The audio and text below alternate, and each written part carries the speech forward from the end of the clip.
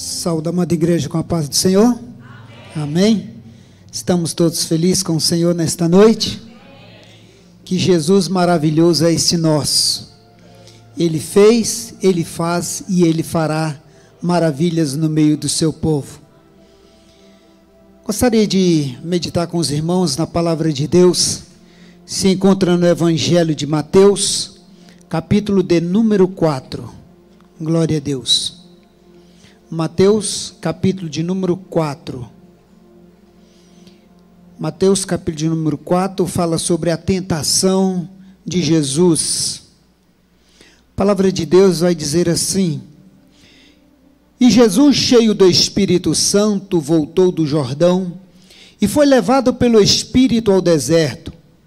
E quarenta dias foi tentado pelo diabo, e, naqueles dias, não comeu coisa alguma e terminado ele, teve fome. E disse-lhe o diabo: Se tu és o filho de Deus, diz a essas pedras que se transformem em pão. E Jesus lhes respondeu, dizendo: Escrito está que nem só de pão viverá o homem, mas de toda palavra que sai da boca de Deus. E o diabo, levando-o a um alto monte, mostrou-lhe um, um momento de tempo todos os reinos do mundo. E disse-lhe o diabo: Dar-te-ei a ti todos este poder e glória, porque a mim me foi dado, entregue e dou a quem eu quero. Portanto, se, se tu me adorares, tudo será teu. E Jesus respondendo, disse-lhes: Vai-te, Satanás, porque está escrito: Adorarás ao Senhor teu Deus e só a ele servirás. E levou-o também a Jerusalém e pô-lo sobre o pináculo do templo e disse-lhe: Se tu és o filho de Deus, lança-te daqui abaixo, porque está escrito: Mandará aos teus anjos acerca de ti e te guardem, e que te guardem, e que te sustenham nas suas mãos para que nunca tropece com teus pés em pedra, em alguma pedra. E Jesus respondendo, disse-lhe: Dito está, não não tentarás o Senhor teu Deus. E acabando o diabo toda e acabando o diabo toda a tentação, ausentou-se dele por algum tempo.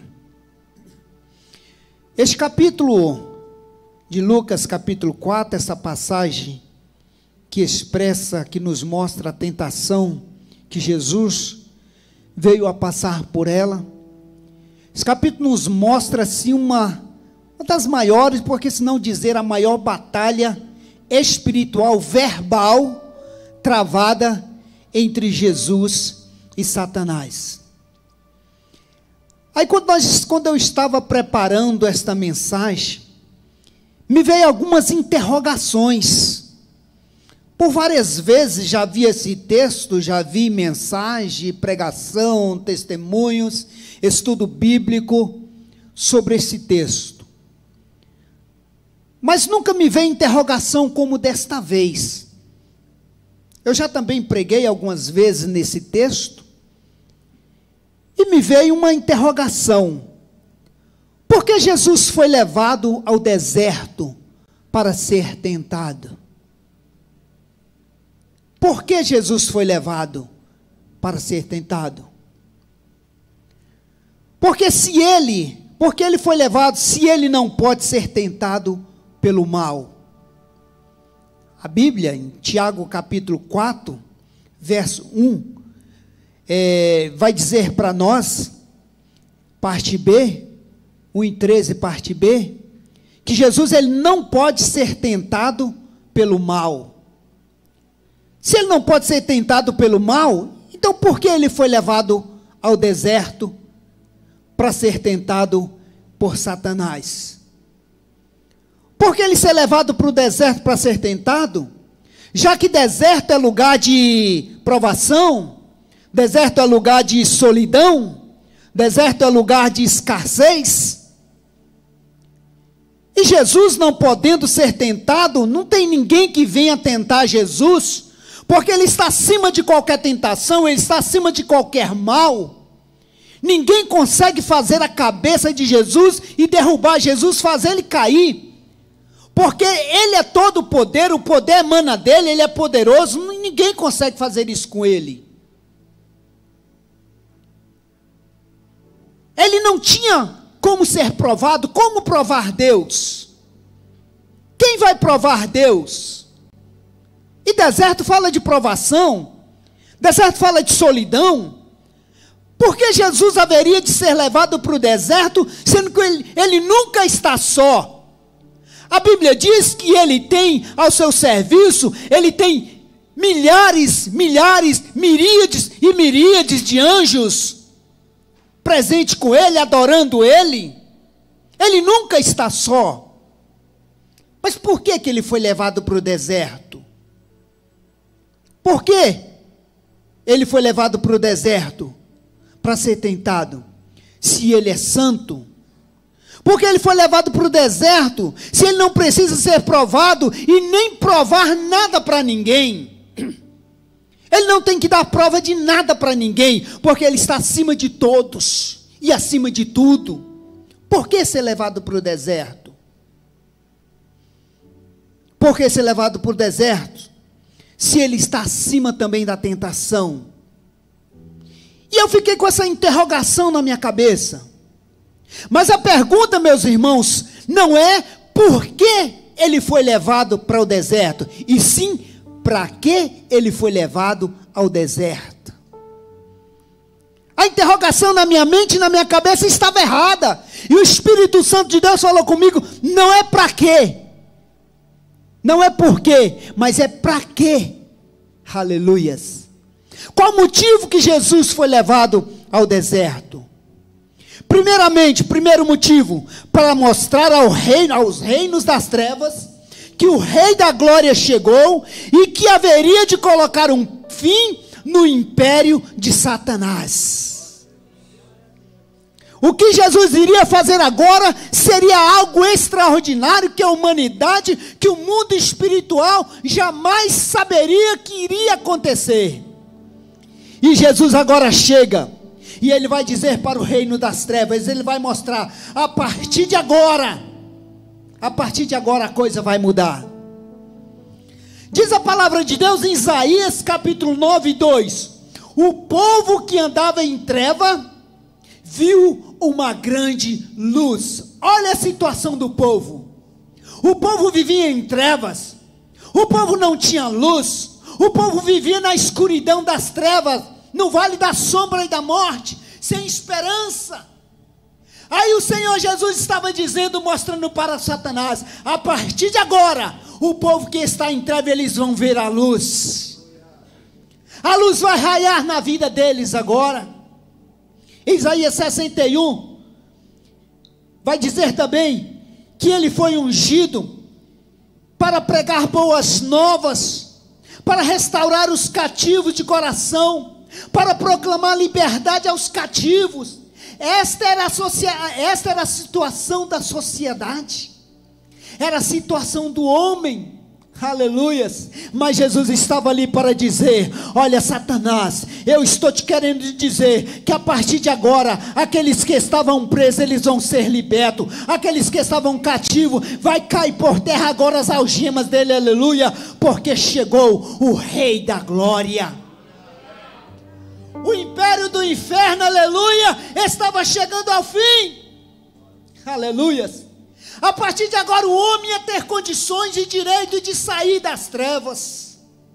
Aleluias. Não haveria, não tinha mais nada o que fazer. Os sacrifícios, os ritos sacerdotais não adiantavam mais nada. Os sacerdotes eles tinham que oferecer sacrifício por si e pela congregação, e cada vez mais o homem ia de mal a pior. Era preciso um sacrifício diferente, acima do sacrifício de ovelha, acima de sacrifício de touro. Era preciso de um sacrifício, aleluia, que vinha de vez botar por terra o império das trevas. E Jesus estava ali para isso. Ele estava ali para isso, para anunciar para o inferno que era chegado o fim. Aleluias. Mas existem algumas observações a respeito de tentação. Algumas observações. Primeiro lugar, a tentação, ela não vem de Deus. Mas Natalícia começou a entrar aqui no rumo da minha pregação. A tentação ela não vem de Deus. Ainda em Tiago 1 e 13, parte A, Deus, ninguém diga que de Deus sou tentado. Deus não tenta ninguém. Sabe qual é o objetivo da tentação? É jogar por terra, é diminuir, é cair, é enfraquecer, é fazer a pessoa desistir, é a pessoa, fazer a pessoa voltar atrás. E é isso que o diabo estava querendo fazer com Jesus. Ele estava pensando nos seus pensamentos que ele ia ganhar de Jesus. Ele estava pensando que ele ia levar fazer Jesus voltar atrás. Porque ele conhece as profecias e ele sabe que o caminho da cruz era o caminho da vitória da humanidade. Mas quem sabe ele jogasse uma lábia ali em Jesus, ele conseguia fazer Jesus voltar atrás. Mas ele estava esquecendo que ele estava falando com o Rei dos Reis e Senhor dos Senhores. Aleluias. A tentação não vem de Deus. Quem sabe nesta noite eu estou falando com pessoas que estão passando dias difíceis de tentação. O diabo está investindo pesado. Quem sabe ele está investindo na sua vida amorosa, na sua, na sua vida familiar. Quem sabe ele está investindo pesado na sua moral. Quem sabe ele está investindo pesado lá no seu trabalho. Tentação. E ele tentou Jesus de todas as formas. Outra observação sobre tentação é que tentação não é provação. Tentação não é provação. Porque a definição de provação, a provação ela serve para levantar. A provação ela serve para corrigir. A provação ela serve para abrir os olhos das pessoas. Salmo 66 e 10 vai dizer para nós: Tu, Senhor, nos provaste e nos afinaste como afina a prata. Aleluias. Então eu posso dizer, baseado nesta palavra, que a aprovação ela vem de Deus. Então nós temos que sermos entendidos, sábios, para sabermos quando nós estamos sendo provados ou quando nós estamos sendo tentados. Se for, se for tentação, clame o sangue de Jesus. Busque a Deus para você vencer. E se for provação, aleluias, fique firme, perseverando em oração e na palavra, que Deus vai te dar vitória, aleluias. Outra observação sobre tentação: que tentação não é lutas e pelejas. Não pense que você está passando por alguma luta e peleja que você está passando por tentação ou está sendo provado. A palavra de Deus vai dizer para nós, lá em Tiago capítulo 1 e verso 2: De onde vêm as vossas lutas e pelejas e batalhas, a não ser de vocês que são cobiçosos e invejosos. Irmãos, às vezes as pessoas passam por lutas que não foi o diabo e nem a provação de Deus, foi ele que trouxe. Ele que entrou naquilo, foi ele que não pesquisou, foi ele que não, foi ele que não foi prudente. Ah, se você viesse na escola bíblica dominical, nós aprendemos isso, né, pastor? Decisões mal pensadas, decisões mal tomadas, traz lutas e pelejas sobre a nossa vida. Então não confunda.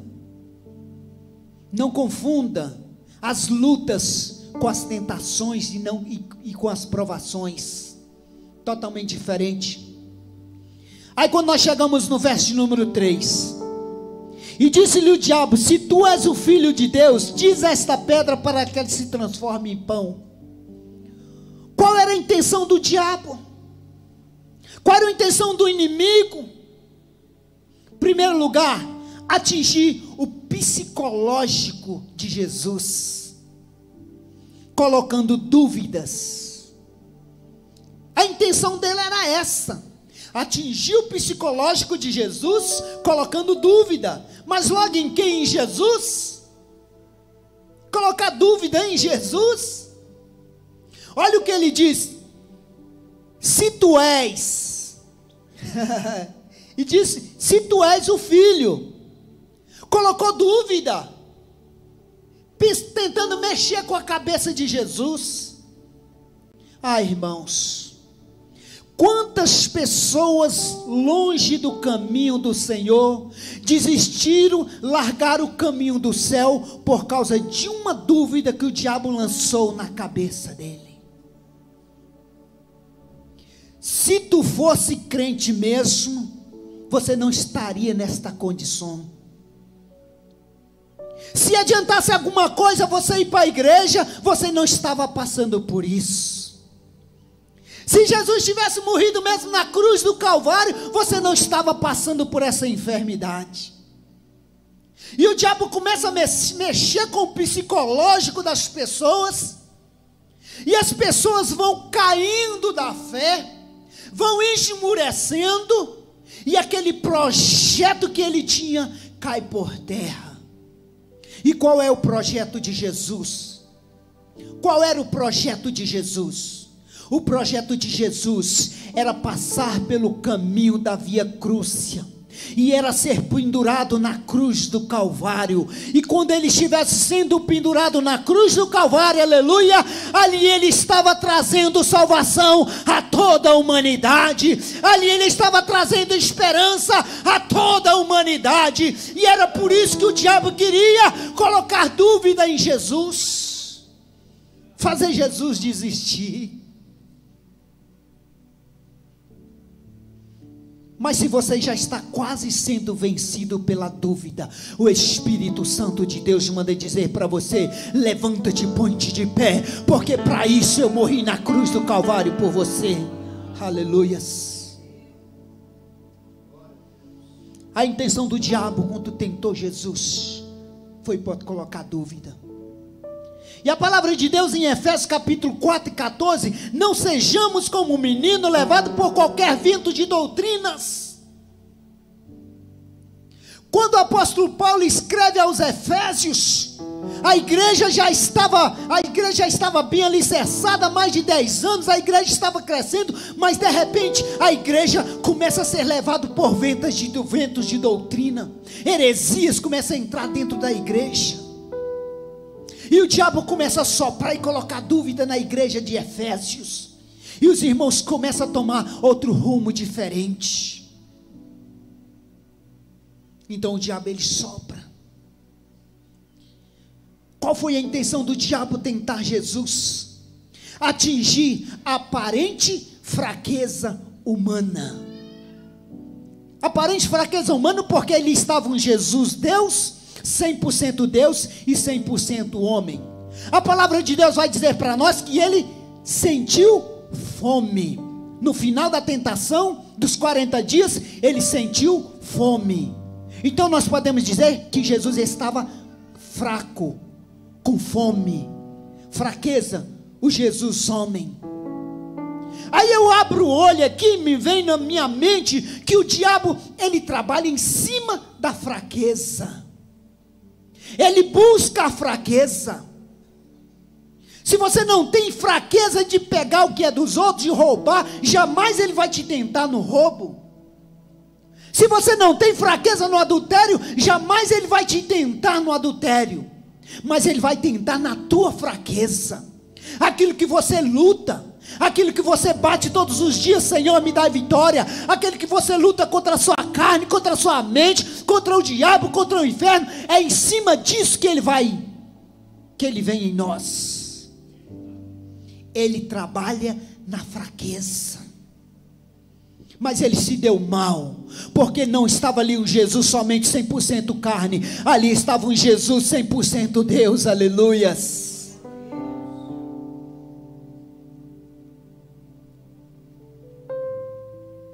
Qual foi a intenção do diabo? Tentar Jesus convencer Jesus de fazer a sua vontade. Nada mais ele queria senão que Jesus fizesse a vontade dele. E ele vai expor agora um monte de prato para Jesus agora. Mas na realidade ele só queria uma coisinha: que Jesus fizesse a vontade dele. Irmãos, mais de dois mil anos se passou desta tentação. Desde a queda do homem lá no jardim do Éden, a estratégia do diabo não mudou. Ele continua com as mesmas velhas estratégias e convencendo o povo a fazer a vontade se nós não abrirmos os nossos olhos espirituais, até mesmo nós que estamos na casa de Deus aqui agora adorando o Senhor, se nós não abrirmos os nossos olhos, quando nós botarmos os pés da porta para fora, nós estaremos fazendo a vontade dele. Ou quem sabe até mesmo sentado aqui nesses bancos ouvindo a palavra de Deus. Podemos fazer a vontade dele, sim. Se você pode estar aqui em corpo, mas a sua mente está longe, pensando em coisas erradas. Pastor, mas isso é possível? É possível. É possível. O que ele queria era que Jesus fizesse a vontade dele. Aí quando nós chegamos no verso de número 5 até o 8, a palavra de Deus vai dizer: E o diabo levando a um alto monte, mostrou-lhe no momento todos, no momento de tempo, todos os reinos. Olha só. Do verso 5 ao 8, o diabo só confirma que ele é o pai da mentira. Ele só vai confirmar que ele é o pai da mentira.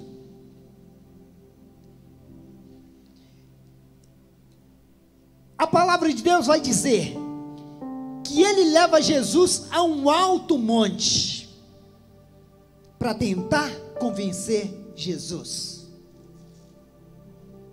Prestou atenção nessa tática? levar a lugares altos?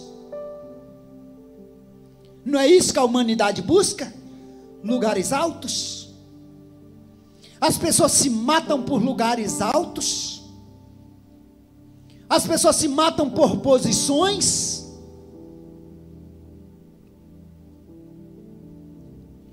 Aí ele vai dizer, quando Jesus está lá no, no Monte Alto, todos os reinos te darei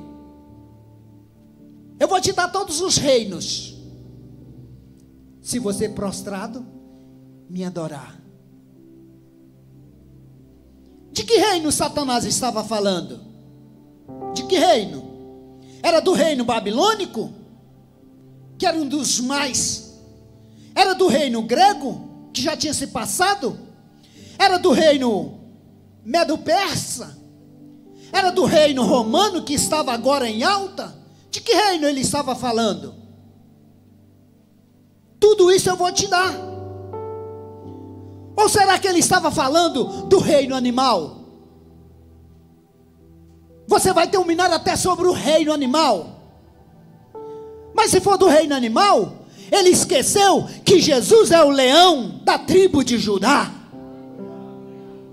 Ou será que ele estava falando do reino vegetal? Você vai mandar, você vai dominar sobre todas as florestas do mundo. Mas ele se deu mal, que ele esqueceu que ele estava falando com o lírio dos vales e a rosa de Saron. De qual reino? Será que ele poderia estar falando do reino vegetal? Do reino mineral?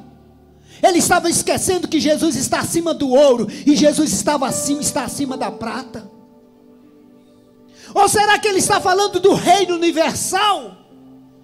Todas essas estrelas, tudo que existe no espaço, no reino, é Deus se você prostrado me, me adorar. Mas ele se deu mal, porque ele esqueceu que Jesus, ele é o sol da justiça, ele é a estrela da manhã. Mentiroso, não tinha nada para dar para Jesus, porque Jesus é tudo em todos.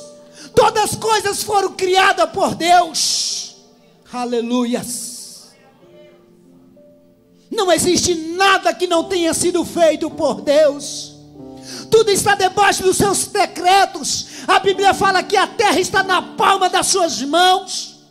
E Ele faz da terra o escabelo, o estrado dos seus pés. Aleluias. Aleluias.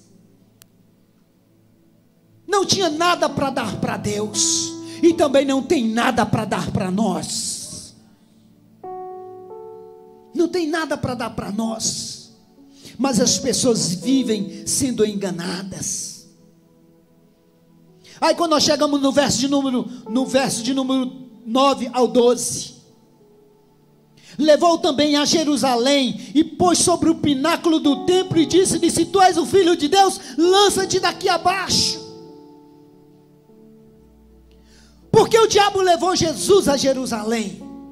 Mas a interrogação: Por quê? Por que a igreja levou Jesus a Jerusalém? E eu comecei a meditar e pensando nisso, por quê? Ao Espírito Santo de Deus me deu a revelação.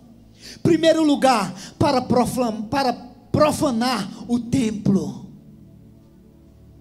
Ele não queria nada mais, nada menos do que profanar, profanar o templo em Jerusalém. E aonde ele leva Jesus? No lugar mais alto do templo, no pináculo. E ele leva Jesus ali na intenção de fazer Jesus profanar o templo. Irmãos, e não é diferente. Quantos templos sendo, sendo profanados através de pessoas que são levadas pelo inimigo. E eu pergunto para os irmãos: aonde é o lugar mais alto do templo?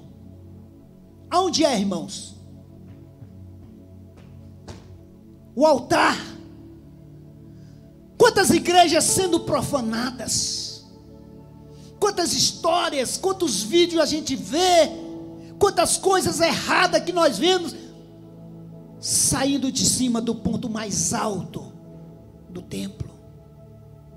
Ele queria que Jesus profanasse o templo em Jerusalém. Jerusalém, irmãos, era a cidade de Deus considerada a cidade de Deus. Agora imagine se Jesus tivesse profanado o templo lá em Jerusalém.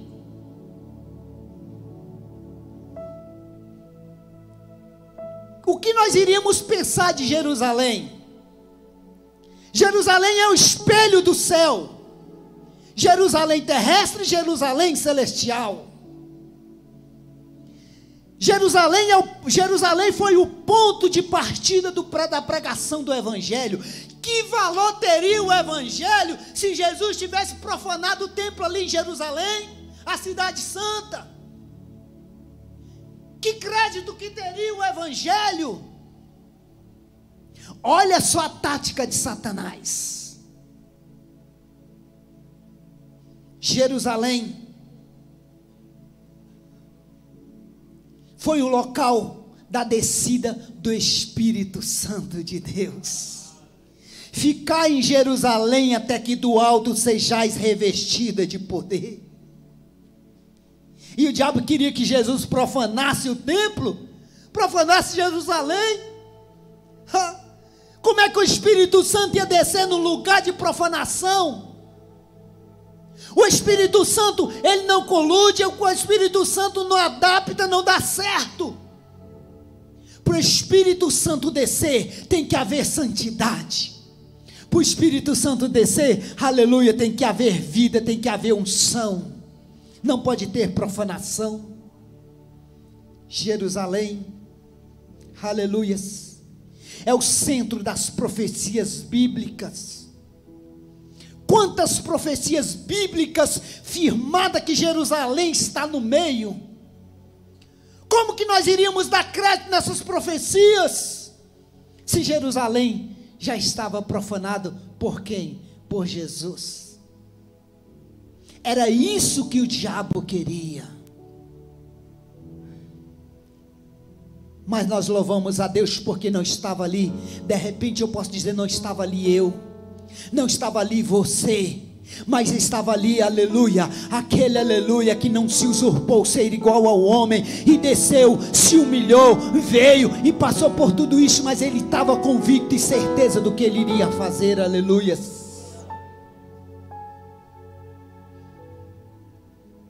Porque o diabo levou Jesus a Jerusalém para que Jesus cometesse o suicídio. Ah, se tu és o filho de Deus, lança-te daqui abaixo. O projeto de Jesus, ele não veio para se suicidar. Jesus veio para morrer sim, mas morrer numa cruz. Aquela forma ali não seria a forma digna. Não foi isso que o Pai tinha projetado. Mas sim o caminho de cruz. Lança-te daqui abaixo. Se você for fazer uma pesquisa, faça uma pesquisa, é porque eles não divulgam, a, as autoridades não divulgam, o índice, o índice de assassinato não é divulgado. Mas Natalícia trabalha em hospital, na rede da saúde, ela sabe disso. Não é divulgado. Não é divulgado, mas é altíssimo o índice de suicídio. Altíssimo. E ele está mais alto no meio das pessoas mais jovens. Sabe o que, que é isso? O diabo soprando, colocando dúvida, mandando, e as pessoas obedecendo. Mas o reino das trevas, aleluia, ele já caiu por terra, aleluias.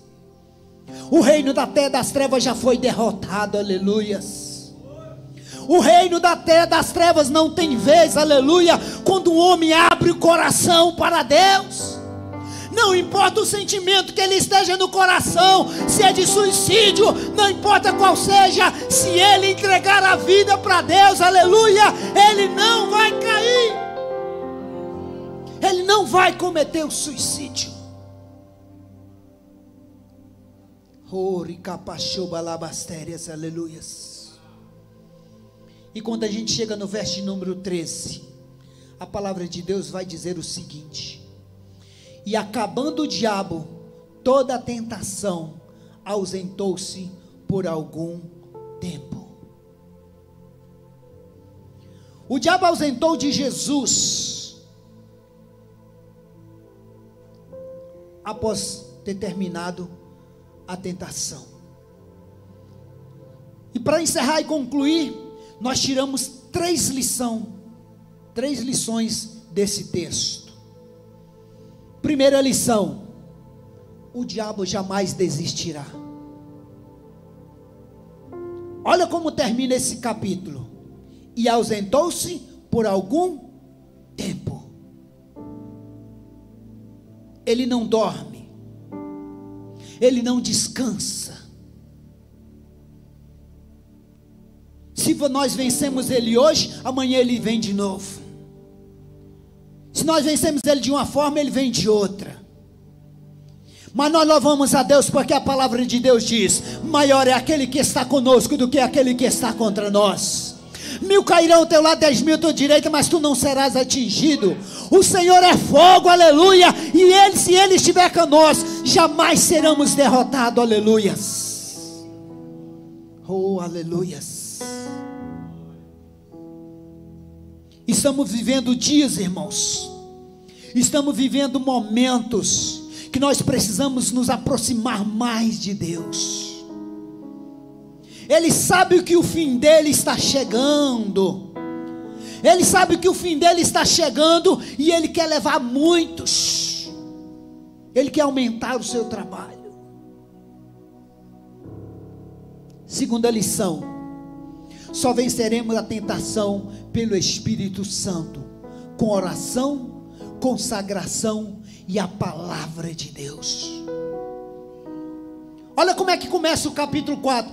E Jesus, cheio do Espírito E Jesus cheio do Espírito Santo.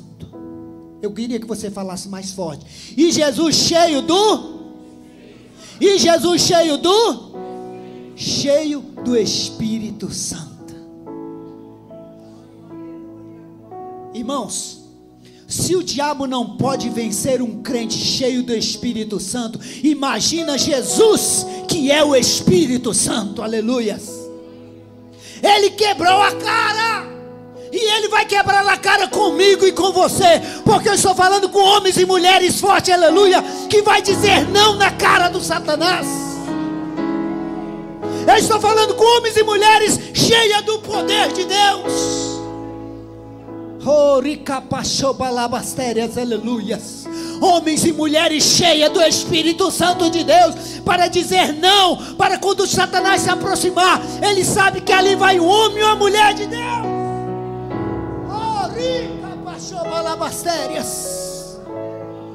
Independente de aonde você estiver, seja cheio do Espírito Santo de Deus. No colégio, seja cheio do Espírito Santo de Deus. No trabalho, seja cheio do Espírito Santo de Deus. Na vizinhança, seja cheio do Espírito Santo de Deus. Mostre para o diabo quem é você.